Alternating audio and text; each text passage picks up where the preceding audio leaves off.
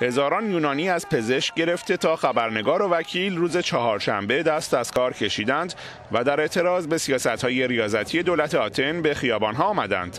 تظاهر کنندگان با سر دادن شعارهایی خواستار توجه عاجل مسئولین به وضعیت بغرنج معیشتی خود شدند که با اجرای شدن سیاستهای اقتصادی جدید دولت بیش از پیش طاقت فرسا شده و همانطور که رئیس انجمن پزشکان آتن بر آن دارد جوانان را به ناچار به فکر مهاجرت انداخته است.